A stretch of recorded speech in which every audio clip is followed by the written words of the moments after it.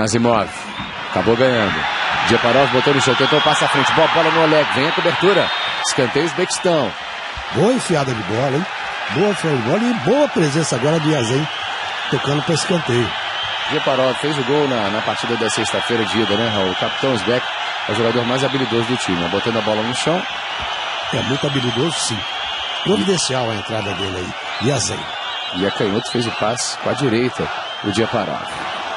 O árbitro, na verdade, marcou falta. Não é nem escanteia falta para a seleção Uzbek. Quase cinco minutos de jogo no primeiro tempo. Toda a preocupação do goleiro Chafi.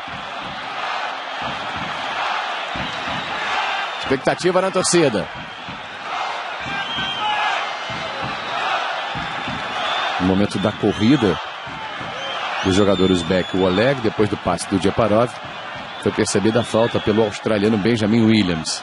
Na barreira, por enquanto, quatro jogadores. Mais um ali, que é o número 23, o Salé, para dar o bote se a bola for rolada. Casanova e Djeparov. Dali é jeito, hein? Djeparov vem para a bola, bateu o capitão Djeparov, Chafi soltou o gol gol! Gol!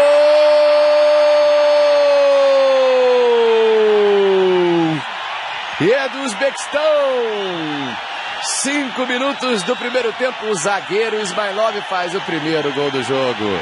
O Uzbequistão sai na frente da Jordânia no jogo de volta da repescagem asiática para o Mundial do Brasil.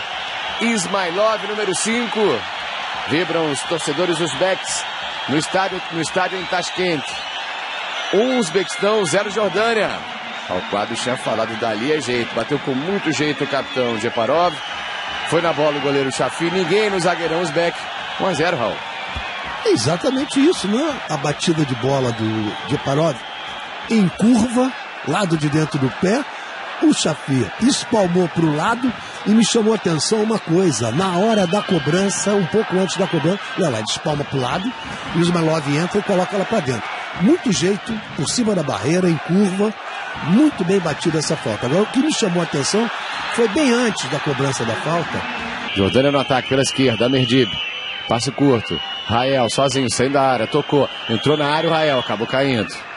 Na sobra, Murjan dominou, Murjan com espaço, chutou! Gol!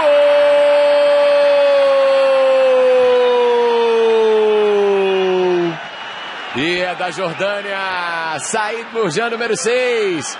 Finzinho do primeiro tempo, empate o gol a seleção da Jordânia. Empate em 1 a 1 que vai forçando a prorrogação em Tashkent, no Uzbequistão. Gol da seleção da Jordânia. Sumiu na comemoração Said Murjan. Um Jordânia, um Uzbequistão. 41 de jogo. Ao quadros. Dizíamos isso, agora o Murjan está no chão, ali é ele que está no chão. Dizíamos isso, está chegando bem, melhor o time jordaniano. Acabamos de falar isso.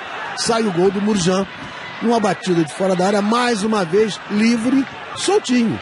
Soltinho, olha lá. Domina a bola, não tem ninguém para marcar.